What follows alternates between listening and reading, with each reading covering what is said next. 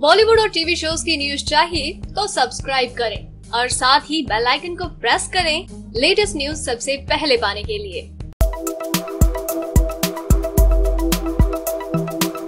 Big boss season तेरह की शुरुआत हो चुकी है और अब आगे के सफ़र को देखने के लिए सभी बिग बॉस फैंस काफ़ी एक्साइटेड हैं। और बिग बॉस सीज़न तेरह में एक ऐसी एक्ट्रेस की एंट्री हुई है जो कि एक काफ़ी लंबे ब्रेक के बाद दर्शकों के सामने आ रही है। वो है साकी साकी गर्ल यानी की कोयना मित्रा। कोयना मित्रा काफ़ी लंबे समय से एंटरटेनमेंट इंडस्ट्री से दूर है और अब वो बिग बॉस में एंट्री ले रही है। जब कोयना मित्रा से सलमान ने पूछा उनकी बिग बॉस में एंट्री को लेकर तो उन्होंने कहा कि लोगों ने मुझे स्टेज स्टेज पर देखा है मूवीज़ में देखा है, बड़े पर्दे पर देखा है बट एज अ पर्सनैलिटी लेकिन अब वो मुझे बिग बॉस के घर में एज अ पर्सन जानेंगे कि मैं इन रियल कैसे हूँ। और ये काफ़ी मज़ेदार होगा। इसके बाद सलमान खान ने कोयना को बताया कि आपको बी एफ़ चुनने की ज़रूरत नहीं है, क्योंकि आपको आपका बैक पार्टनर ऑलरेडी मिल गया है और उन्हें उनका बी एफ़ बैंड दे दिया जाता है। इसके बाद उन्हें मिलती है उनकी हाउस ड्यूटी जो की होता है लिविंग एरिया को साफ़ करना। और यहाँ पर वो अपना पार्टनर चुनती है सिद्धार्थ शुक्ला को। तो सलमान कहते हैं कि आपके लिए थोड़ा इजी कर देते हैं इसको चेंज करते हैं। यहाँ पर वो कहते हैं कि ये एंटरटेनमेंट का एरिया होता है तो यहाँ पर थोड़ा एंटरटेनमेंट हो जाए। और इसके बाद वहाँ पर दो लगाए जाते हैं। और कुछ प्रॉप्स की